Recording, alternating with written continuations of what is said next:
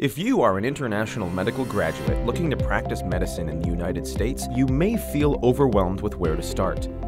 And if you're just beginning your research, the pathway to residency can be a complicated maze to follow. Luckily, we have helped thousands of IMGs get into residency and are here to help. Let's get started. First off, all IMGs need to be ECFMG certified to work as a doctor in the United States. But before you can become ECFMG certified, you need to take the USMLE exams.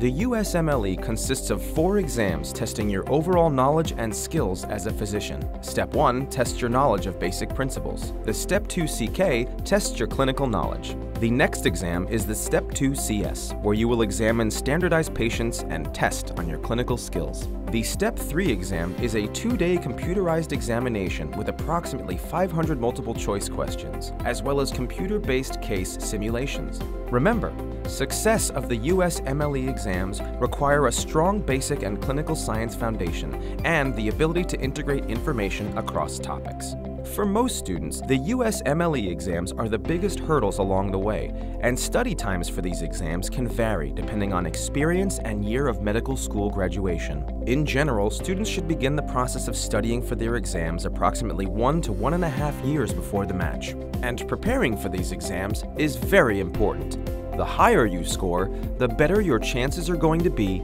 during the match. Once you have completed your USMLE exams, you will be ready to apply for residency programs. To apply using ERAS, you will need to request an ERAS token through OASIS, the Online Applicant Status and Information System. The 14-digit token will grant you access to your application. Once you access your application, you can start uploading your required documents. After you have uploaded your documents, you will submit your application to residency programs starting September 6th. On September 15th, residency programs will begin to review and choose which applicants they want to interview. Interviews start to get scheduled as early as October and are typically held from November to January. After the interviews, students and hospitals will submit their rank order lists from January 6th to February 22nd with the NRMP, the National Residency Matching Program.